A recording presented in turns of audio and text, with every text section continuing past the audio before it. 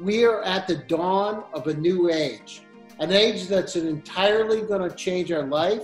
And I see the incredible opportunity of AI. You know, money follows money.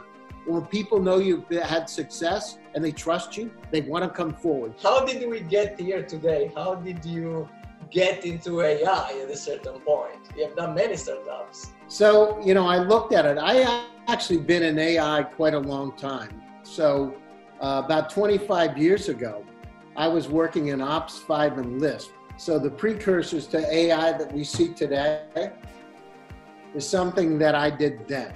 So, I'm just passionate about it. I like going to the leading edge of where technology is going, and I see the incredible opportunity of AI.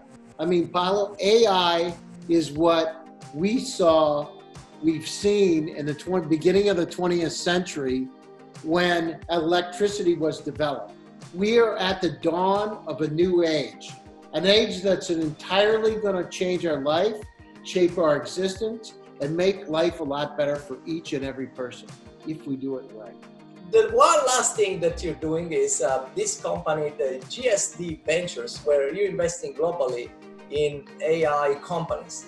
Uh, can you introduce uh, what you're doing there at GSD Ventures to the world?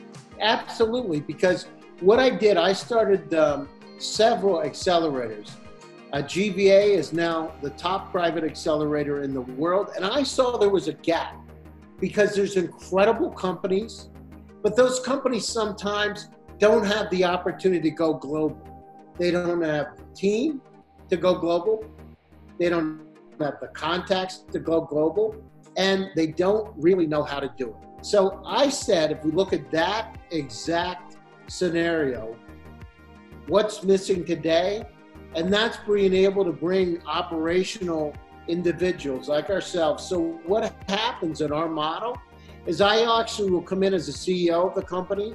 My partner, Derek Distenfield, will come as the COO, and we bring some of the most incredible advisors, money to bear. So we actually take operational roles in the company and people. You know, money follows money.